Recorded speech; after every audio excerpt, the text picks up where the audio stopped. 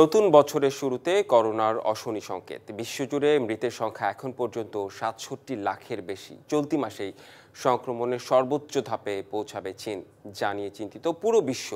এরই মধ্যে সীমান্ত বিমানবন্দরে কঠোর বিধিনিষেধ আরোপ করতে শুরু করেছে বিভিন্ন দেশ।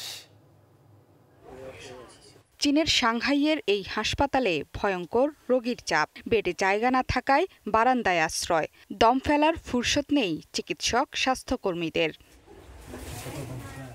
বিধিনিষেধ তুলে নেয়ার পর থেকে হাতে গোনা মানুষের করোনায় মৃত্যুর তথ্য দেয় বেইজিং। অথচ হাসপাতাল, মর্গ কিংবা অন্ত্যেষ্টিক্রিয়া কেন্দ্রগুলো বলছে ভিন্ন কথা। করোনা নিয়ে সঠিক তথ্য প্রকাশ না করায় উদ্বিগ্ন বিশ্ব স্বাস্থ্য সংস্থা। যথাযথ তথ্য প্রকাশে শি জিনপিং সরকারের প্রতি আহ্বান জানাচ্ছে সংস্থাটি। WHO is concerned about the risk to life in China. যদিও হাসপাতালে হাসপাতালে রোগীর চাপকে একেবারেই তোয়াক্কা করছে না চীন দেশটি বলছে আট জানুয়ারি থেকে অন্যান্য দেশ ভ্রমণ করতে পারবে নাগরিকরা। এ নিয়ে দেখা দিয়েছে উদ্বেগ। বিমানবন্দরে করোনা পরীক্ষা এবং সনদ দেখাতে বলছে যুক্তরাষ্ট্র, কানাডা, অস্ট্রেলিয়া, তাইওয়ান, ইতালি সহ বেশিরভাগ দেশ। নতুন করে সীমান্তে বিধিনিষেধও আরোপ করা হচ্ছে। এসব পদক্ষেপকে রাজনৈতিক উদ্দেশ্যমূলক আখ্যা দিয়ে নিন্দা জানাচ্ছে বেইজিং।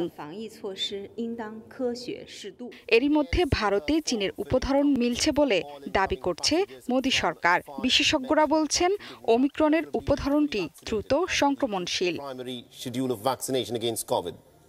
বিশেষজ্ঞদের ধারণা এই মাসেই সংক্রমণের সর্বোচ্চ পর্যায়ে পৌঁছাবে চীন। চলতি বছর ভয়ঙ্কর এই ভাইরাসে দেশটিতে অন্তত দশ লাখ মানুষের মৃত্যু হতে পারে। পাশাপাশি অন্যান্য দেশেও ব্যাপক প্রাণহানির সংখ্যায় উদ্বিগ্ন গবেষকরা।